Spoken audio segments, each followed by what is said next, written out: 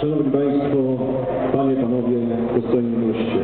Mam wielki zaszczyt przywitać Państwa w imieniu organizatorów Miejskich Obchodów Narodowego Dnia Pamięci Powstania Warszawskiego.